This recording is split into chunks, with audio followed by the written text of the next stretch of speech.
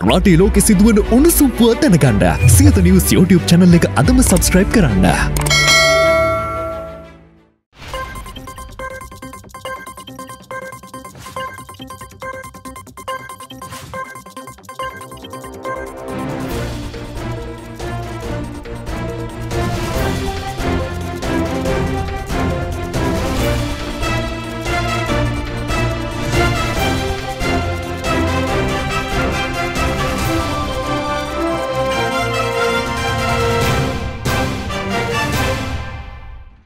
අයිබෝවන් කාලීන ප්‍රවෘත්ති වාර්තාකරණය ප්‍රමුඛයා.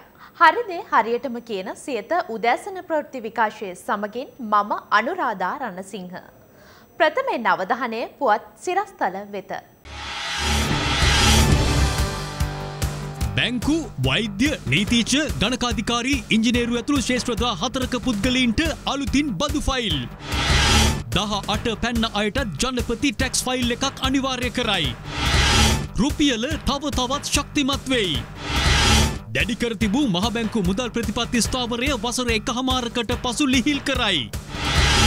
මහබැංකුව වෙළඳ පොළ හරහා අමරිකාන් ඩොල මිලියන එක්දහස් හයිසිය හැත්තෑ එකක් මිලදී ගනී. ජූලි මාසය වන විට උද්ධමනය තනීලක්කමට. දැන් අවධානය දේශීය පුවත් වෙත. ජනාධිපතිවරයා ජාතිය අමතමින් විශේෂ ප්‍රකාශයක් සිදු කළා.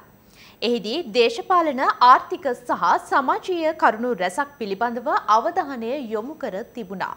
අප බලාපොරොත්තු වන්නේ මෙම වසරේ දෙවන කාර්තු අවසන් වීමට පෙර ආතුව සංගායනා ක්‍රියාවලිය ආරම්භ කිරීමට. තුන්වන කාර්තුවේදී සංගායනා ක්‍රියාවලිය සහ වර්තමානයේ ආර්ථිකයට සම්බන්ධ විශේෂ කාර්ය සාධන බලකායන් විවෘත සහ විනිවිද පෙනෙන ආකාරයෙන් ජනතාව හමුවේ තබනවා. ඒ සියල්ලෙන් අනතුරුව ජාතික ප්‍රතිසංවිධාන සැලැස්ම මෙම වසරේ අවසන් කාර්තුවේදී එළි දක්වන්ට අපි බලාපොරොත්තු වෙනවා. සැලසුම් හා පිළිවෙත් ක්‍රියාත්ම කරලීමේ ප්‍රගතිය ජනතාවට ඩිජිටල් මාධ්‍ය ඔස්සේ දැන බලා ගැනීමට අවකාශ සැලසෙන. ක්‍රියාත්ම කිරීමේදී ඇතිවෙන ගැටලු සහ බාධක අවධාන්‍ය කර පෙන්වීමේ ක්‍රමවේදයක්ද එහි අඩංගුයි. ඒ අනුව බාධා හා ගැටලු හඳුනා ගැනීමත් ඒවා කඩිනමින් විසඳා ගැනීමටත් අවකාශ උදා කරගන්නට පුළුවන්. එම සැලසුම් ක්‍රියාත්ම කිරීමේ සම්බන්ධීකරණ කටයුතු සඳහා රාජ්‍ය සහ පුද්ගලික යන දෙයංශයේම ඉහළ නිලධාරිගෙන් සමන්විත ජනාධිපති විමසුම් කාර්යංශයක් ස්ථාපිත කිරීමට පියවර ගන්නවා. රේකී අමාත්‍යයන් සමග සම්බන්ධීකරණ කාර්යයන් ඔවුන් වෙතින් සිදුවෙනවා. මේ ප්‍රතිසංස්කරණ මුළු මහත් ජනතාවටම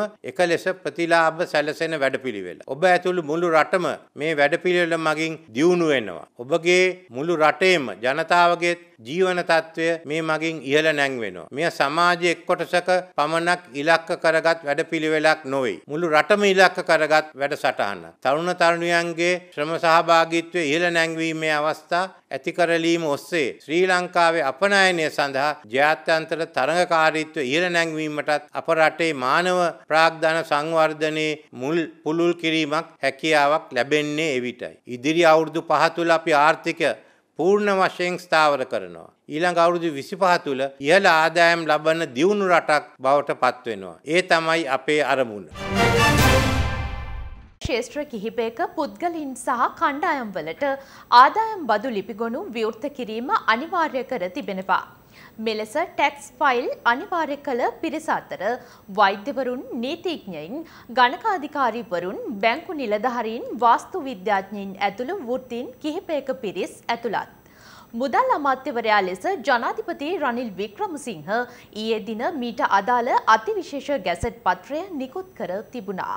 වෛද්‍ය ඉංජිනේරු නීතිඥ ගණකාධිකාරී බැංකු වාස්තු විද්‍යාඥයෙන් ඇතුළු ශේත්‍ර කිහිපයක නියලෙන තැනැත්තන්ට දේශාදායම් බදු දෙපාර්තමේන්තුවේ ලියාපදිංචිවීම අනිවාර්ය කරමින් ගැසට් නිවේදනයක් නිකුත් කර තිබෙනවා. මුදල් ආර්ථික ස්ථායි කරන අමාත්‍යවරයා ලෙස ජනාධිපති රනිල් වික්‍රමසිංහයි මෙම ගැසට් නිවේදනය නිකුත් කර ඇත්තේ. මීට අමතරව දෙදහස් විසිතුන වර්ෂයේ දෙසැම්බර් තිස්සෙක් වන දිනට වයස අවුරුදු දහට සම්පූර්ණ වී ඇති හෝ දෙදහස් විසි හතර වර්ෂයේ ජනවාරි පළවෙනි දිනට හෝ ඊට පසු වයස අවුරුදු 18 එළඹෙන සියලුම තැනැත්තන්ද මෙම නව විධිවිධානයට යටත් කර තිබෙනවා. 2023 අයවැලේඛනයේ යෝජනාවක් තිබුණා අපේ රටේ අවුරුදු 18ට වැඩි සියලුම පුරවැසියන් සඳහා බදු ලිපිගණුවක් විවෘත කරනවා කියලා. මේකෙන් අදහස් වෙන්නේ නෑ මේ සියලු දෙනාගෙන් රජය බදු මුදලක් ගන්න යනවා කියලා. සියලු දෙනා ලියාපදිංචි කිරීමේ අරමුණ යම්කිසි නියාමනයකට ගෙන ඒක රට රාජ්‍ය ආදායම. දැන් සමහර එක්කයකට ඒ ලිපිගණුව තුලින් තමයි අපි තීරණය කරන්නේ ඔහු ලියාපදිංචි වෙන්නේ රජයෙන් දෙන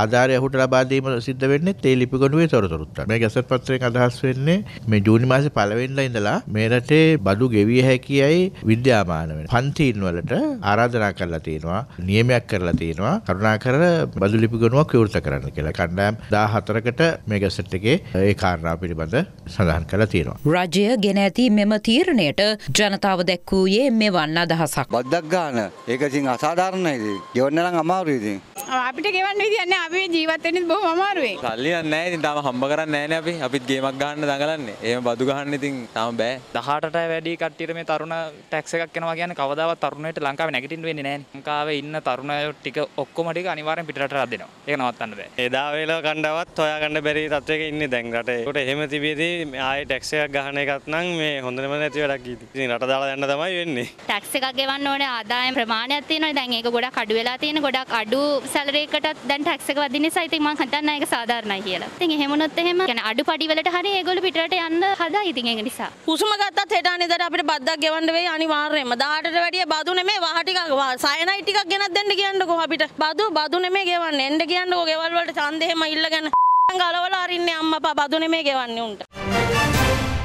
දේශීය සහ විදේශීය ණය ප්‍රතිව්‍යුහගතකරණය පිළිබඳව රජය මෙතෙක් අවසන් තීරණයක් ගෙන නැති බව මහබැංකු අධිපති ආචාර්ය නන්දලාල් වීරසිංහ පවසනවා. ලබන ජූලි මාසයේ වන විට උද්ධමනය තනි ඉලක්කමකට ගෙන එමට අපේක්ෂා කරන බවද ඔහු ප්‍රකාශ කළා. මෙතෙක් දැඩි කර තිබූ මහබැංකු මුදල් ප්‍රතිපත්ති ස්ථාවරය වසර එකහමාරකට පසු ලිහිල් කිරීමටයි පියවරගෙන ඇත්තේ. වසරේ මේ දක්වා අමරිකානු ඩොල මිලියන එදහස් හයිසිය හැත්ත එකක් වෙළඳපළ හරහා මිලදී ගැනීමට මහබැංකුව කටයුතු කර ඇති බවද මහබැංකු අධිපතිවරයා පවසනවා. ශ්‍රී ලංකා මහබැංකුව සිය මුදල් ප්‍රතිපත්ති ස්ථාවරය ලිහිල් කිරීමට තීරණය කර තිබෙනවා. ඊයේ රැසූ ශ්‍රී ලංකා මහබැංකුවේ මුදල් මණ්ඩලය විසින් මෙම තීරණය ගෙන තිබෙනවා. ඒ අනුව මහබැංකුවේ නිත්‍ය තැන්පතු පහසුකම් අනුපාතිකය සියට දහතුනක් සහ නිත්‍ය ණය පහසුකම් අනුපාතිකය සියට දාහතරක් දක්වා අඩු කිරීමට තීරණය කර තිබෙනවා. උද්ධමනය අඩුවීම සැලකිල්ලට ගනිමින් ශ්‍රී ලංකා මහබැංකුවේ මුදල් මණ්ඩලය විසින් මෙම තීරණය ගෙන ඇති බවයි ආදාළ නිවේදනයේ දැක්වෙන්නේ. මැයි මාසය අවසන් වන විට මෙරට විදේශ සංචිත ප්‍රමාණයද ඇමරිකානු ඩොල බිලියන තුන ඉක්මවා ඇති බවද ශ්‍රී ලංකා මහබැංකුව පෙන්වා දෙනවා. එමෙන්ම පසුගේ අප්‍රේල් මාසය තුළ විදේශ සේවා නියුක්තිකයන්ගේ ප්‍රේෂණද සැලකිය යුතු ලෙස ඉහළ ගොස් ඇති අතර ඇමරිකානු ඩොල මිලියන හාරසිය පනස් සතරක ප්‍රේෂණ අප්‍රේල් මාසය වන විට ලැබී ඇති බවයි ශ්‍රී ලංකා මහබැංකුව පෙන්වා දෙන්නේ. ක්‍රියාව වසර විශේෂයෙන් අප්‍රේල් මාසෙ ඉඳලා අපේ දැඩි මුල්ල ප්‍රතිපත්තිය ක්‍රියාත්මක කර හරහා අපට පුළුවන් වුණා සැප්තැම්බර් මාසෙ වල 70%න්